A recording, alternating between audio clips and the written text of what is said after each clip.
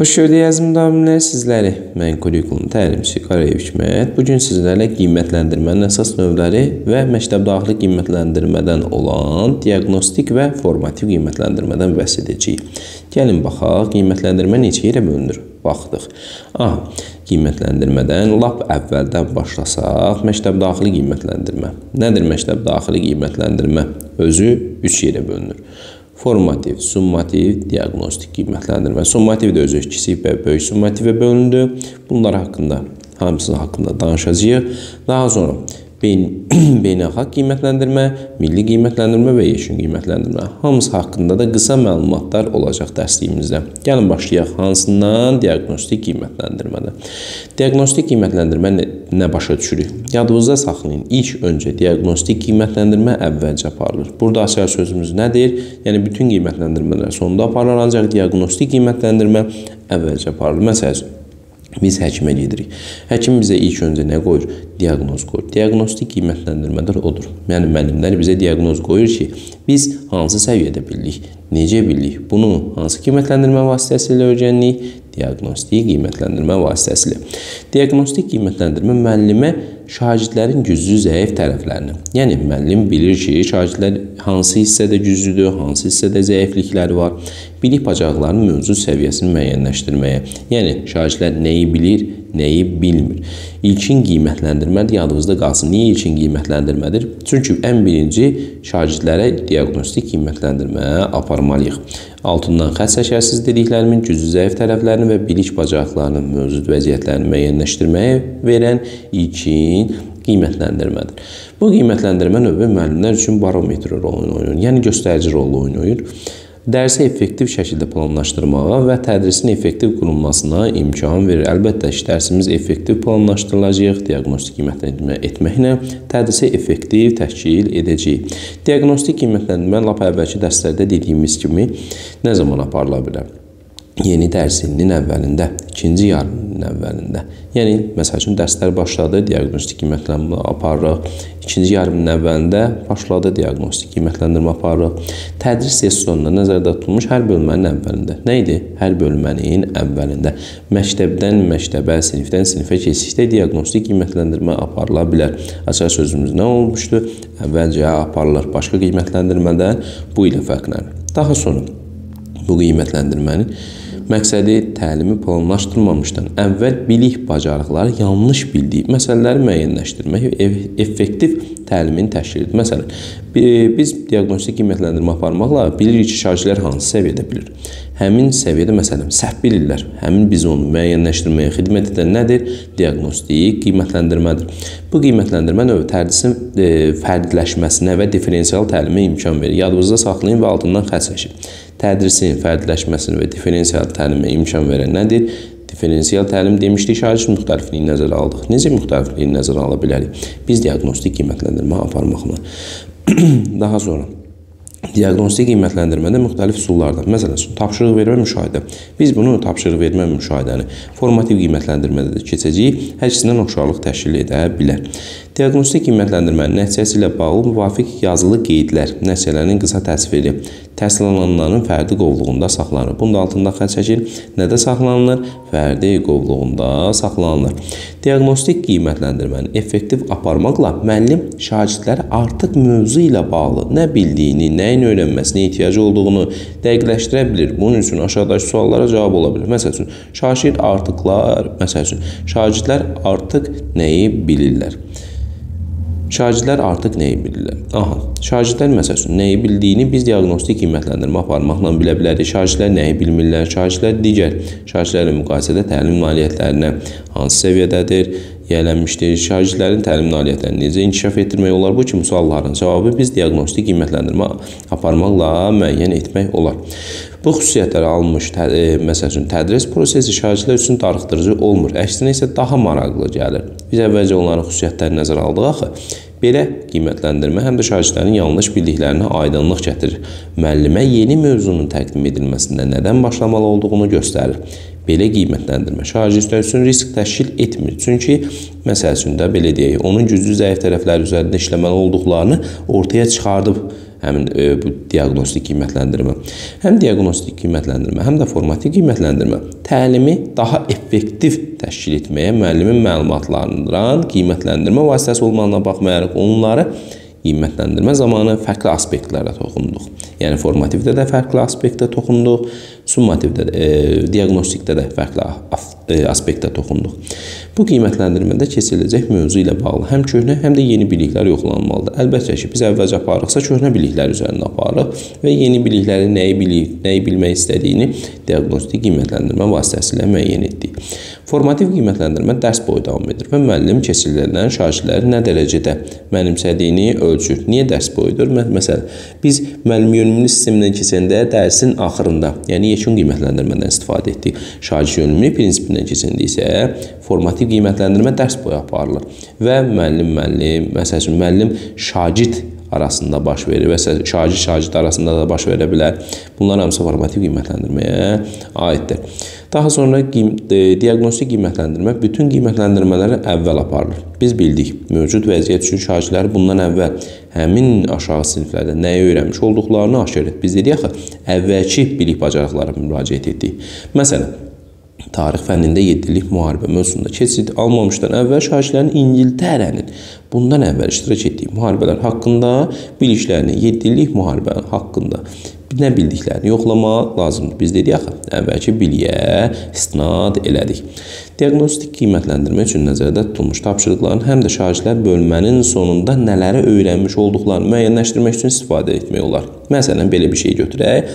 Biz diaqnostik qiymətləndirmə aparırıq və tapşırıqlar hazırlayırıq. Həmin tapşırıqlardan sonda e, sonunda da aparmaq olar. Ancaq bu demək deyil ki, diaqnostik qiymətləndirmə apardıq. Biz diaqnostik qiymətləndirmə əvvəlcə nəzərdə tutmuşduq, amma şagirdlərin belə deyək, biliyini, bacarığını qiymətləndirmək üçün, daha da effektiv etmək üçün onu sonda da tərtib eləyə bilərik ki, yəni əvvəl mən bunu səhv yazmışdım, indi daha sonra düz yazıram. Bu kimi, yəni öz üzərində işləmə, özünün güclü zəif tərəflərini müəyyən etməyə imkan verə bilər. Daha sonra diaqnostik qiymətləndirmə, diaqnostik qiymət sinifdə hansı üsullara keçirmək olar? Diaqnostik qiymətləndirmə vasitələrini nümunə kimi göstərmək olar nələri? Müəllimin özünü tərtib edərək tədris kursu e, məsəl üçün tərtib edərək tədris kursu və yəni tədris vahidi və bölmənin öncəsi təqdim etdiyi tapşırıqlar. Müəllim əvvəlcə tapşırıqlar təqdim edir. Həmin diaqnostik qiymətləndirmə nümunə ola bilər. Sinifdə aparılan sorğular diaqnostik qiymətləndirmə ola bilər. BİBÖ bilirəm, istəyirəm və öyrəndim kimi cədvəl tərtib elər diaqnostik qiymətləndirmə ola bilər və sinif müzakirəsi diaqnostik qiymətləndirmə kimi çıxış edə bilər. Diaqnostik qiymətləndirmə haqqında bu qədər. E, gəlin bir daha nəzər salaq. İlkin qiymətləndirmə hesab olunur. Tədrisin effektiv qurulmasına imkan verdi və bizə barometr rolu oynadı. Nə vaxt tərtib oluna bilər? Yeni dərsin əvvəlində, ikinci yarımının əvvəlində tədris resurslarında nəzərdə tutulmuş hər bölmənin əvvəlində məktəbdən məktəbə, sinifdən sinifə keçdiksə, əsasən nəyə xidmət elədi? Tədrisin fərqləşməsinə, yəni differensial təlimə imkan yaratdı. Hansı üsullardan istifadə etdi? Tapşırıq vermə və müşahidə üsullarından istifadə etdi bir harda saxlanıldı diaqnostik qiymətləndirmə şagirdləri fərqli qovluğunda saxlanıldı. Şagirdlər üçün risk təşkil etmədi. Həm də köhnə biliklərinə müraciət etmiş oldular. Daha sonra biz gələk nəyə? Diaqnostik qiymətləndirmə demək əvvəlcə aparılır. Məsələn, biz diaqnostik qiymətləndirməni əvvəlcə aparanda suallar tərtib eləyirik. Həmin suallardan sonra da istifadə etmək olar. Deməli, bu diaqnostik qiymətləndirməyə misal ola bilər. Şagirdlərin qiymətlərinə əsasən təsir etmir. Bunu da yadımızda saxlayaq. Daha sonra diaqnostik qiymətləndirməni əvvəlcə biz dedik ki, tərtib edərkən müəllim özünün tədris kursu, yəni yeni tədris fəaliyyəti bölməsi təqdim etdiyi, öncə təqdim etdiyi tapşırıqlardır, sinifdə aparılan sorğulardır, ödül sinif müzakirəsi kimi aparmaq olar. Diaqnostik qiymətləndirmə haqqında qısaca bunlarla rastlaşdıq. Gəlin baxaq formativ qiymətləndirməyə. Nədir formativ qiymətləndirmə? Biz əvvəlcə başlayanda formativ qiymətləndirmə hər bir fənn üçün təhsil proqramında müəyyənləşdirilmiş məzmun standartlarının mənimsənilməsinə yönəlmiş fəaliyyətləri izləmək. Tərifi belə götürülür məzmun standartlarının mənimsənilməsinə yönəlmiş fəaliyyətləri izləmək. Məsəl üçün, biz məzmun standartı keçmişdik, yəni oradakı biliyi mənimsəyib, yəni bunu izləyir formativ qiymətləndirmə. Bu prosesdə onun qarşısına çıxan çətinlikləri müəyyən edib. Məsəl üçün qiymətləndirmə apardı, həmin çətinlikləri müəyyən elədik. Onu aradan qaldırmaq məqsədlə aparılır. Yəni həmin çətinliyi biz aradan qaldırmaq məqsədlə hansı qiymətləndirmə apardıq? Formativ qiymətləndirmə. Bunu formativ qiymətləndirmənin tərifi kimi də götürmək olar. Yəni məzmun standartlarının mənimsənilməsinə yönəlmiş fəaliyyətləri izlədik. Bu prosesdə onun qarşısına çıxan çətinlikləri müəyyən elədik və onu aradan qaldırmaq məqsədi ilə hansı qiymətləndirmə apardıq? Formativ qiymətləndirmə apardıq.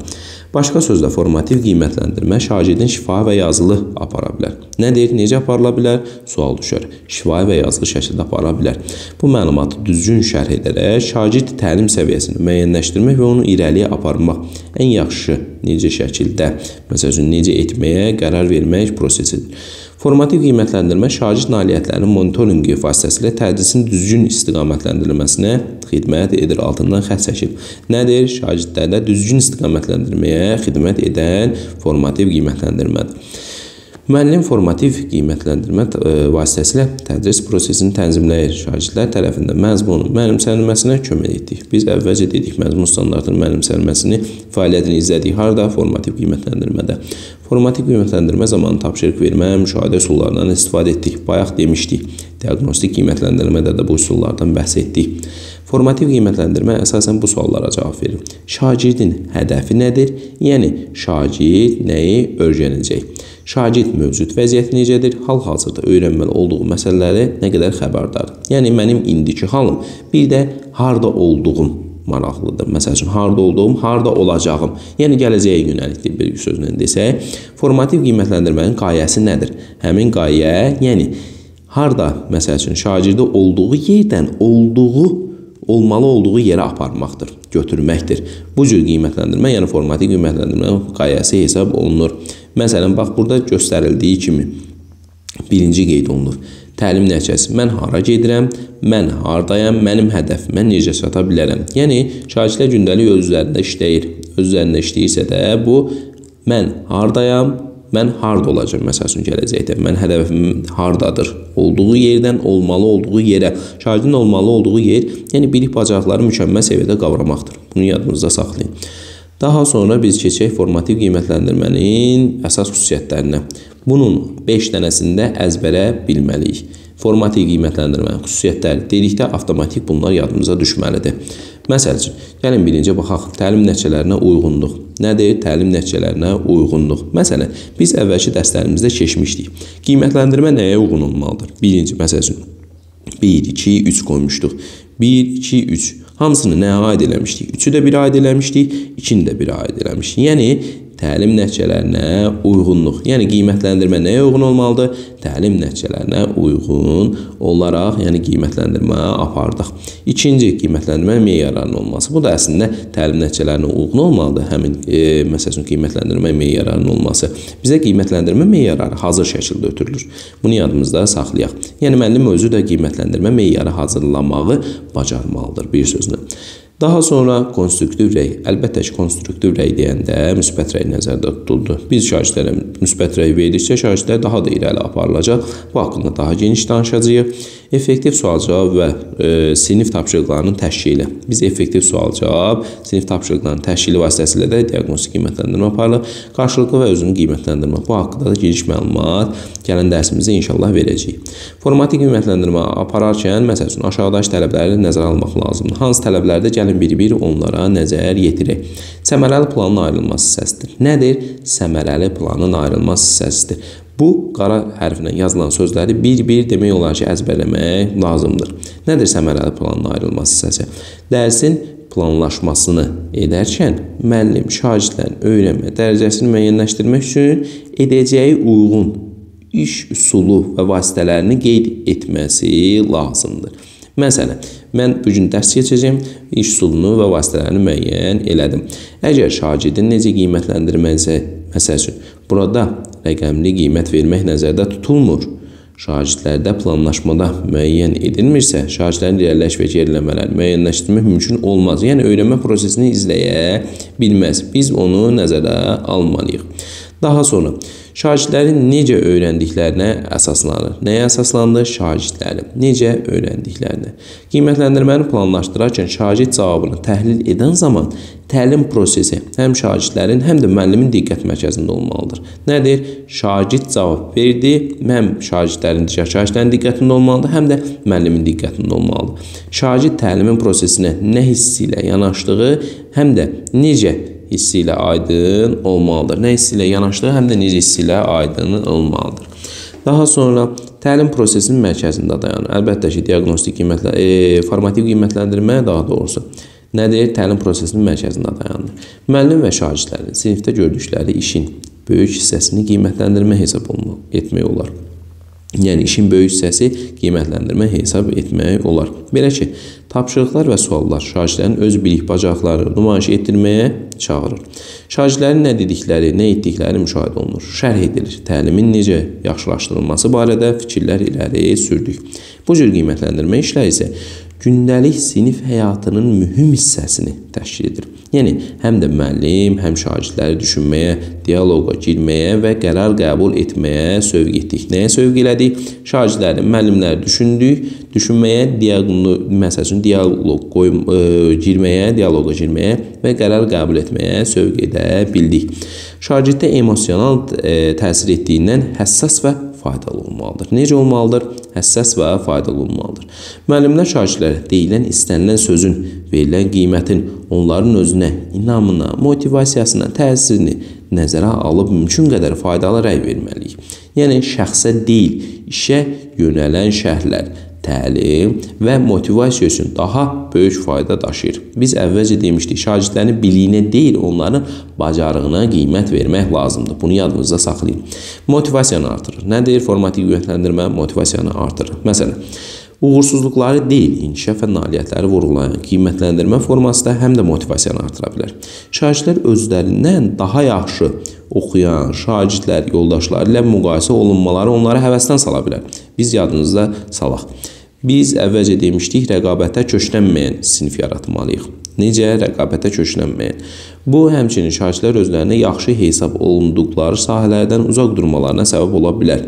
Məsəl üçün, biz deyirik ki, oxuyuruq, bir şey oxuyuruq və müəllim deyir, yaxşı oxumursan. Deməli, biz bundan aralaşmalı deyilik. Daha da, məsəl üçün, əzmli olub, bunu bacarmalıyıq, motivasiya verməliyik. Müəllim də şagirdə motivasiya verməlidir. Motivasiya qiymətləndirmə metodları vasitəsilə saxlanıla və gücləndirilə bilər. O şərtlə ki, bu metodlar şagirdin sərbəstliyini qorusun, ona seçim imkanı, məsələn, faydalı rəy versin, nəhayət özünü, məsəl üçün, istiqamət verməyə imkan yaratsın. Məqsəd və meyarlarının qavranılmasına yardım edir. Təlim məqsədlərinə nail olmağı və onların ölçülmə meyarlarının qavranılmasını asanlaşdırdıq. Nə ilə? Formativ qiymətləndirmə ilə. Təlimin səmərəli olması üçün şagirdlər anlamalıdırlar ki, nail olmağa, nəyə nail olmağa çalışırlar? Eyni zamanda onu istəməlidirlər. Qiymətləndirmə prosesi məqsəd meyarlarının müəyyənləşdirilməsində şagirdləri cəlb edəndə onları iki məsələni daha yaxşı anlayır həvəslə yerinə yetirirlər və qiymətləndirmə meyarları elan edilərkən şagirdlərin anlayacağı terminlərdən də istifadə olmaq, müzakirə etmək və bu meyarlara uyğun gələn işlərlə nümunələr gətirmək, şagirdləri özünü qiymətləndirmək və sinif yoldaşlarını yoldaş qiymətləndirməsinə cəlb etmək lazımdır. Məsəl üçün elə bir sözlər olar ki, o termində biz onun izahını da verməliyik. Daha sonra şagirdləri inkişaf etmək üçün yol göstərir. Nə, nə etdi bizə? Şagirdləri inkişaf etmək üçün yol göstərdi. Yəni, təlim prosesinə növbəti mərhələyə adlamaq üçün şagirdlərə lazım məlumat və istiqamət verdik. Necə verdik? Nə ilə verdik? Formativ qiymətləndirmə ilə. Müəllimin etməli olduğu işlər şagirdin güclü zəif tərəflərini göstərmək və onları daha da inkişaf etdirilməsi üçün məsləhət vermək, zəif cəhətlər haqqında aydın, yumşaq şəkildə danışmaq, yol göstərmək və şagirdə öz üçün yaxşılaşdırmaq üçün imkan yaratdıq. Daha sonra özünü qiymətləndirməni stimullaşdırır. Nədir? Özünü qiymətləndirməni stimullaşdırdı. Müstəqil öyrənən şagirdlərə yeni bilik, bacarıq və qavrayış axtarmaq, onlara yiyələnmək qabiliyyətdə oldu. Nədir? Onlara yiyələnmək qabiliyyətdə oldu. Onlar özlərini təhlil və təlimlərdə növbəti mərhələni müəyyənləşdirə bildilər. Deməli, müəllimlər şagirdlərə özünü qiymətləndirmə bacarıqlarını formalaşdırmaqla onları həvəsləndirməlidir. Sərbəst öyrənmə, bacarıqlarını inkişaf etdirməlidir. Yəni özünü qiymətləndirməli, nə etdi, stimullaşdırdı, onlar sərbəst öyrənməlidirlər. E, yəni bu, bacarıqları formalaşdıranda bunları həvəsləndirməlidir. Bir sözlə, yəni motivasiya verməlidirlər də. Daha sonra formativ qiymətləndirmə zamanı aşağıdakı vasitələrdən istifadə etmək olar. Məsələn, biz nə haqqında danışacağıq? Müşahidə haqqında, sinif məsələsinin sual-cavab, sinif müzakirələri haqqında qısaca danışacağıq və yoldaş qiymətləndirməsidir, rubrikdir. Bunlar haqqında qısaca danışacağıq. Sadəcə adlarını qeyd edək. Nədir? Müşahidə, yoldaş qiymətləndirməsi və özünü qiymətləndirmə, rubriklər, işıq for, doğru-yanlış fikirlər, bir və digər qrafiklər, qısa ümumiləşdirmələr, sual-cavab və sinif müzakirələri, çıxış bileti, e, şagirdlərin sual verməsi və yazması, düşün, paylaş, bölüş, məsələn, şagird jurnalı 3-2-1 üsullarından da istifadə edə bildik. Daha sonra bir neçəsinə məsələ üçün e, gəlin nəzər yetirək. Bunlardan biri müşahidədir. Nədir müşahidə? Baxın, Müşahidə əsasən iki hissədən ibarət olur. Formal və qeyri-formal. Biz debat keçmişdik. Bax, e, belə deyək, kopya debat kimidir. Formal və qeyri-formal oldu. E, formal müşahidə müəyyən müşahidə vasitələrindən, məsələn, müşahidə vərəqlərindən istifadə etməklə həyata keçiririk. Müəllim tərəfindən müşahidə etməklə onların davranış və fəaliyyətlərini əvvəlcədən müəyyənləşdirilmiş meyarlara müqayisə etdik. Qeyri-formal müşahidə isə təlim zamanı baş tutur. Burada müəllim konkret bir, yəni bu qrupdur, meyarlardır, fikrində tutmaya da bilər. Yəni hazır şəkildə gəldik, gündəlik dərsimizi təşkil etdik və formativ qiymətləndirmə apara bildik. Burada müşahidəni, müşahidəni qeyri-formal aparırıq. Hazır şəkildə ötürülmür. Sadəcə gəldik, dərs zamanı elədik. Bununla belə bu halda şagirdlərin haqqında informasiya toplaması da mümkündür. Formal müşahidə xüsusi nəzərdə tutulmuş hallarda aparıldığı halda qeyri-formal müşahidə hər gün dərsdə aparıla bilər. Formal müşahidə aparmaq üçün aşağıdakı cədvəli göstərə bilərik. Məsəl üçün belə deyək. Biz iş vərəqi hazırlamalıyıq. Bunu əvvəlcə planlaşdırırıq.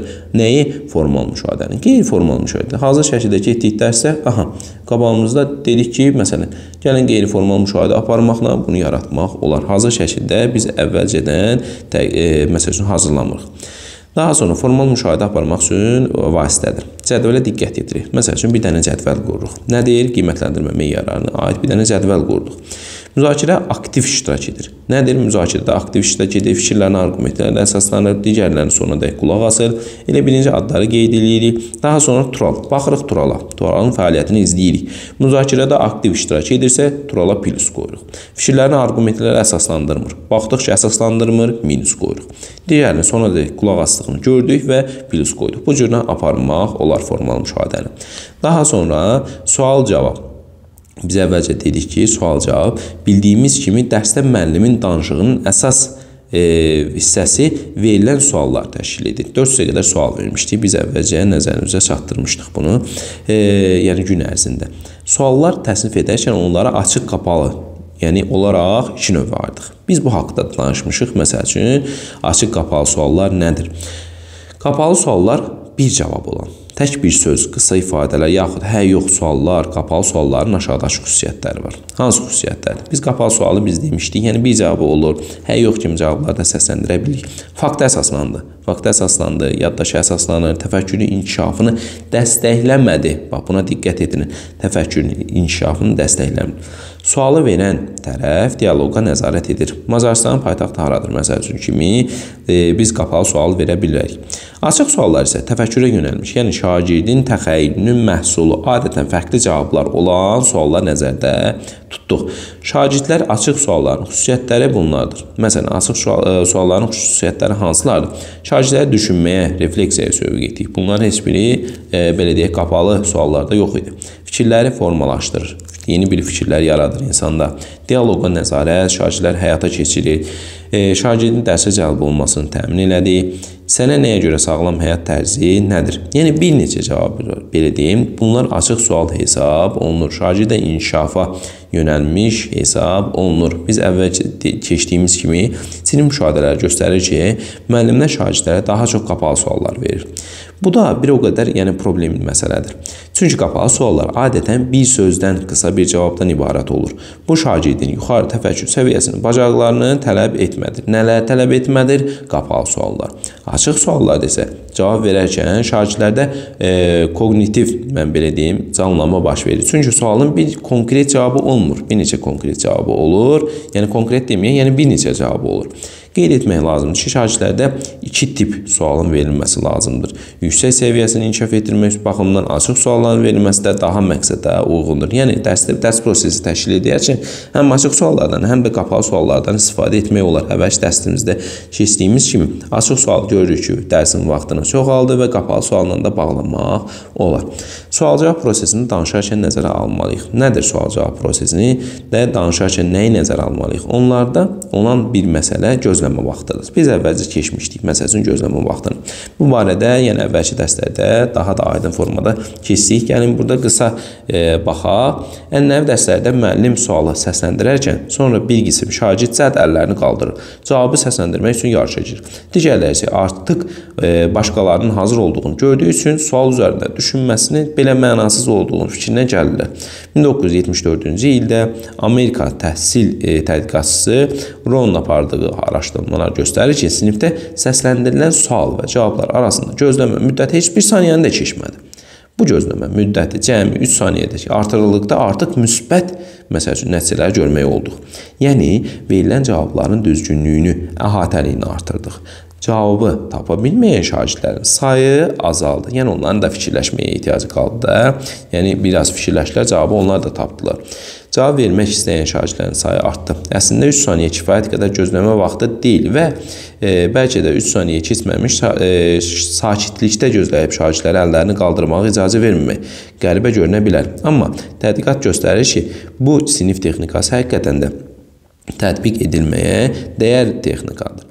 Məsələn, verilən e, formalarından, cavablarından keyfiyyətini artırdıq. Bəs gözləmə vaxtının nə qədər olması məqsədə uyğundur. Belə qəbul olunmuşdur ki, dolğun cavab vermək üçün sinif düşüncəsini, vaxtını, sualın çətinlik səviyyəsini asılı olaraq 10-30 saniyə, bəzən də 1 dəqiqə yəni gözləmə vaxtı olmalı ki, daha effektiv məsəl üçün cavab ala bilək. Gözləmə vaxtı şagirddə rahat düşünməyə, yəni fikirlərini cəmləşdirməyə, həyəcanını azaltmağa imkan verdik. Nədir? E, burada dedik gözləmə vaxtının verilməsi. Dərsimiz bura kimidir. Gəlin bir daha təkrar eləyək. Formativ qiymətləndirmə. Formativ qiymətləndirmə nə oldu? Məzmun standartının mənimsənilməsinin yönəlmiş fəaliyyətləri izlədi. Onun qarşısına çıxan çətinlikləri müəyyən etdi etdi, aradan qaldırmaq məqsədi ilə aparıldı. Necə aparıla bilər? Şifahi və yazılı formada aparıla bilər. Əsasən biz formativ qiymətləndirmədə düzgün şərh edərkən təlimin səviyyəsini müəyyənləşdirdik. Onu irəliyə aparmaq üçün müəyyən yollar verdik. Biz diaqnostik qiymətləndirmədə kimi tapşırıq vermə müşahidə üsullarından da istifadə etdik. Formativ qiymətləndirmənin qayəsi nədir? Şagirdə olduğu yerdən olmalı olduğu yerə aparılır. Məsəl üçün mən e, hardayam? Mən hardayam, harda olmalıyam kimi cavabları verdik. Formatik qiymətləndirmənin xüsusiyyətlərinə gəlin nəzər yetirək. Birinci, təlim nəticələrinə uyğunluq, ikinci, qiymətləndirmə meyarlarının olması, 3 konstruktiv rəy, 4 effektiv sual-cavab və sinif tapşırıqlarının təşkili, 5 qarşılıqlı və özünü qiymətləndirmənin təşkili. Daha sonra e, bəzi belə deyək, formativ qiymətləndirmədə e, nəzər nələri nəzərə almalıyıq? Səmərəli planın ayrılmaz hissəsi olduğunu, şagirdlərin necə öyrəndiklərinə əsaslandı, təlim prosesinin mərkəzində dayandı, şagirdlərin emosional təsir etdiyindən həssas və faydalı oldu, motivasiyanı artırdı, məqsəd meyarlarının qavranılmasına yardım etdi, daha sonra şagirdləri inkişaf etdirmək üçün yol göstərdi, özünü qiymətləndirməyə stimullaşdırdı. Formativ qiymətləndirmədə bəzi vasitələrdən istifadə elədik. Məsələn, müşahidədir, yoldaş qiymətləndirməsidir, özünü qiymətləndirmədir, rubrik, işıq for, doğru yanlış fikirlər, bir böyük qrafiklər, qısa ümumiləşdirmələr, məsəl üçün, e, sual-cavab və sinif müzakirələri, çıxış bileti, şagirdlərin sual verməsi, yazması, yəni düşün, cütləş, paylaş, belə kimi şagird jurnalı 3-2-1 üsullarından da istifadə edə bildik.